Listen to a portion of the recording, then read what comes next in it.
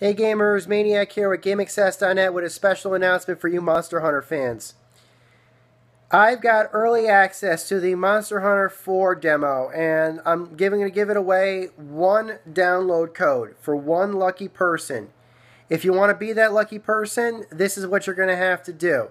Step one, create a video on YouTube.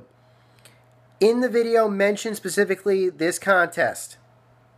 I like I'm say something along the lines of, "Oh, I'm doing this for Game GameXcess," or "I'm doing this for Maniac," or anything along those lines will be fine.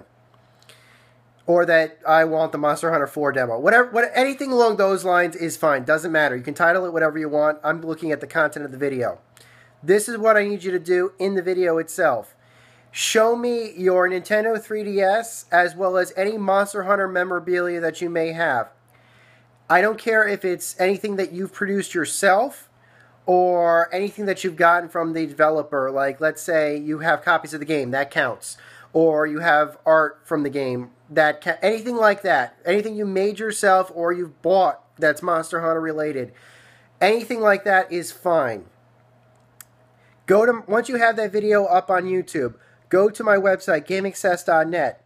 Post a comment on any article Include in the comment a link to the YouTube video plus your email address. I do not have to make that content private. If you'd like me to keep it private, I have no problem with that. However, if the entry is invalid in any way, I will you will not win.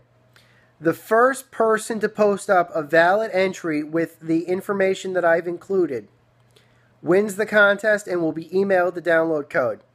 You have to have Nintendo eShop access in order to make use of it, but hopefully you do.